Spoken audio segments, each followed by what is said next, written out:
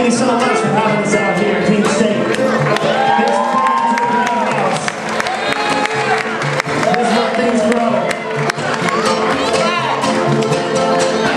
I think they're growing flags in this greenhouse.